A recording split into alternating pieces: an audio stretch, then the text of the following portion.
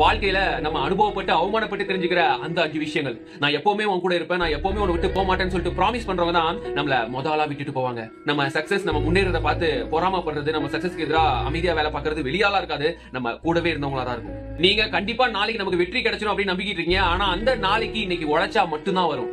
காரணம் தெரியாம காத்திருக்கிறது ரொம்ப தப்பு. அப்படி காரணம் தெரியாம காத்திருந்தா நம்ம லைஃப் போறது அப்போ தெரியாது. லைஃப் போனதுக்கு அப்புறம் பயங்கரமா வலிக்கும். இந்த உலகத்துல நமக்கு உண்மையான அன்பு கொடுக்கறது மூணே மூணு பேர் தான். உன் அம்மா உன் அப்பா இன்னொன்னு நம்ம கூட பிறந்தவங்களா இருக்கும். இதுல நீங்க எதை அனுபவப்பட்டிருக்கீங்கன்னு கமெண்ட்ல சொல்லுங்க.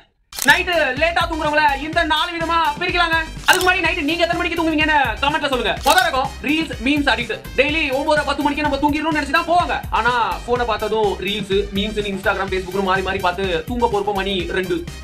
நான் தூங்கினா தானே எப்படியும் படுத்தோடனே இந்த பாலா போன மூளை ஓவர் திங்கிங் பண்ண ஆரம்பிக்கும். விடிய விடிய ஓவர் திங்கிங்லேயே விடிஞ்சிரும். மிட் நைட் லவ் கப்பிள்ஸ் மிட் நைட்ல தான் சேட் பண்ணுவாங்க கால்ல பேசுவாங்க. ஏன்னா பகல்ல வேற ஏதாச்சும் வேலை இருக்கும். மிட் நைட்ல பேசி பேசி கடைசியில நைட் ரெண்டு மணி ஆயிரும். அதாவது ரகம் நம்ம ஃபியூச்சர்னு ஒன்று இருக்கு. ஃபியூச்சர்ல என்ன ஆக போறோம்? எப்படி ஆக போறோம்? எவ்வளவு சம்பாதிக்க போறோம்? நம்ம உருட்டுருவோமா அப்படின்றத யோசிச்சு யோசிச்சு ஒரு ஒரு நைட்டும் போயிடும் இந்த நாள் வகையில நீங்க எந்த வகையான கமெண்ட்ல சொல்லுங்க.